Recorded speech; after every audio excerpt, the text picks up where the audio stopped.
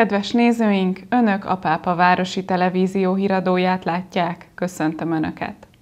A Pápai Petőfi Városbarát egylet legutóbbi összejövetelén a 15 esztendeje elhunyt Gabrielné Jáger Teréz, pápai énekzene tanár, karnagy, költő, helytörténeti író emléke előtt tisztelgett.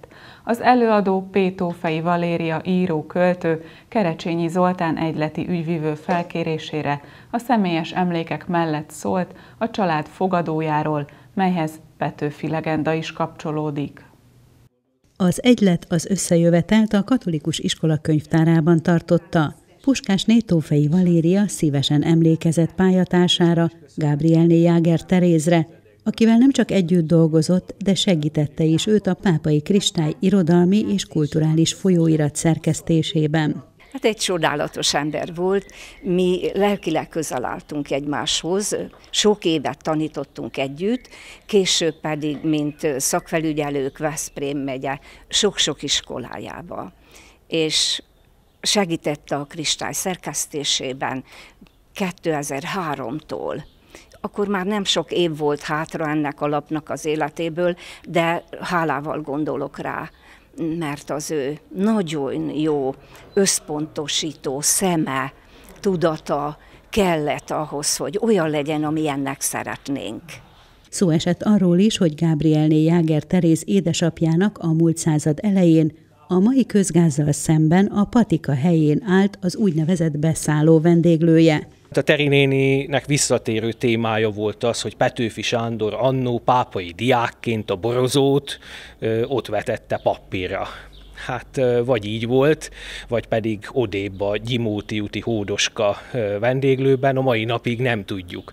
Minden esetre szép hagyomány volt ez, amelyet a Terinéni megörökített, illetve az akkori pápaiak tovább örökítettek ezen Petőfi hagyományokat, így ápolva a költőnek a pápai vonatkozásait. A Városbarát egylet tagjai felvetették, hogy az egykori Petőfihez címzett vendéglő valamint Gabrielné Jáger Teréz emlékét is méltó lenne egy emléktáblával őrizni. Az alkalmon elhangzott Petőfi Sándor Borozó című verse Varga Árpád tolmácsolásában, valamint az irodalmi önképzőkör tagjai is közreműködtek felolvasással. Kerecsényi Zoltán a pápai Petőfi Városbarát egylet emlékplakettjével köszönte meg Puskásni Tófei Valéria áldozatkész segítségét, fáradhatatlan irodalmi és helytörténeti tevékenységét.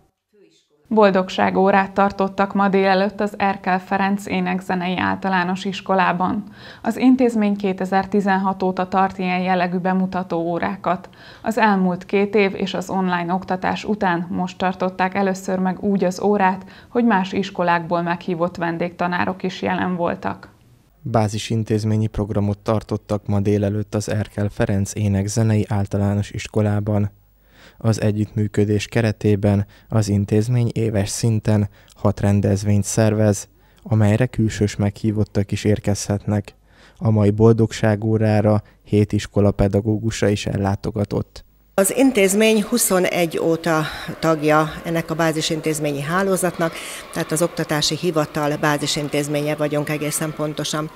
Ez abból áll, hogy különböző programokat ajánlunk fel a környező iskoláknak, olyan programokat, amit mi már nagyon régóta űzünk, hogy így mondjam, magas színvonalon, és ezeket a programokat tudjuk átadni a többi iskolának. A projekt órán továbbá jelen volt Muzsek Tetsz Helén az oktatási hivatal részéről, a bemutató órát pedig Csákvári Regina tartotta a második A-osztályjal. A mi iskolánk 2016 májusában kapta meg az országban másodikként a Boldog Iskola címet, és azóta boldogságórák zajlanak három osztályunkban.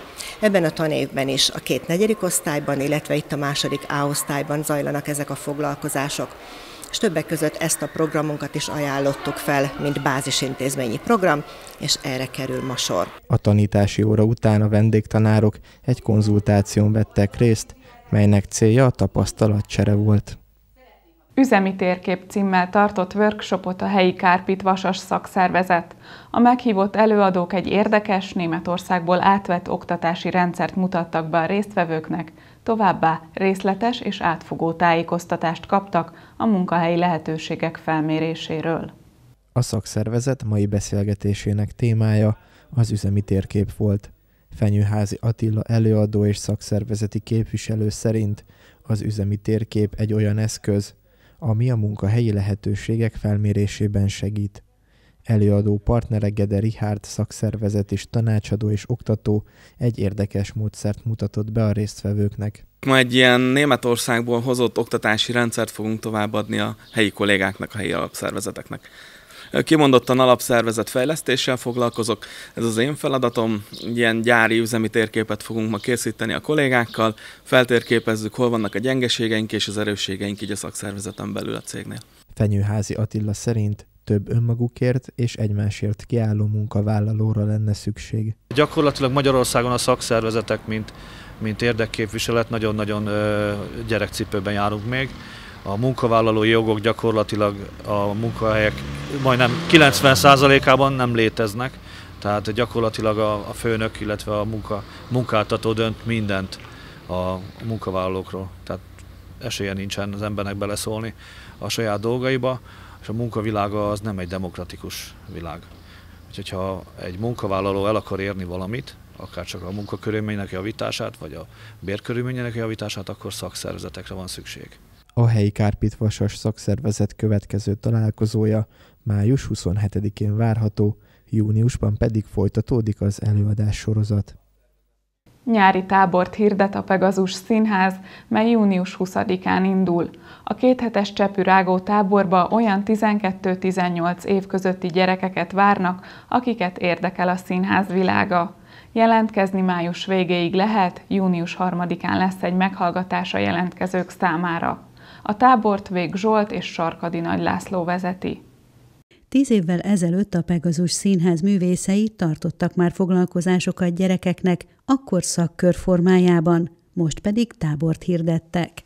A Pegazus Színház táborába olyan gyerekeket várnak, akik kedvet éreznek arra, hogy részt vegyenek egy vidámvásári produkció létrehozásában. A táborban való részvétel az Emberi Erőforrások Minisztériuma pályázati támogatásának köszönhetően ingyenes, a résztvevőknek csak az étkezést kell megoldaniuk. Nagy örömünk, hogy sikerült egy minisztériumi pályázat segítségével meghirdetnünk egy csepürágó tábort. Így hívjuk mi.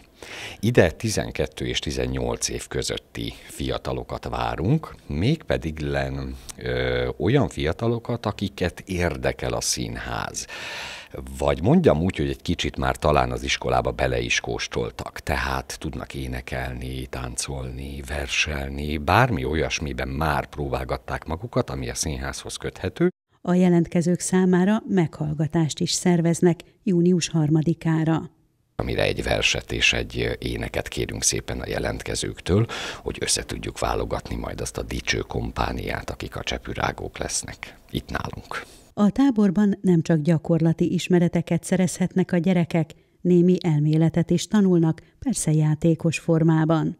Mi a tábor idején, mint egy tehetséggondozó program szeretnénk megvalósítani két héten keresztül, egy olyan munkafolyamatot, amiben ezek a fiatalok, akik jelentkeznek és meg is méretnek, hogy ide jöhessenek ebbe a táborba, végigvihetnek egy színházi produkció kialakulását. A tábor június 20-a és július 1 -e között lesz, hétköznaponként 9-től 16 óráig a Pegazus Színházban. Jelentkezni rövid bemutatkozással és a szülői beleegyezés igazolásával május 25-éig lehet az infokukac pegazusszínház.hu e-mail címen. Kedves nézőink, következzen az időjárás jelentés.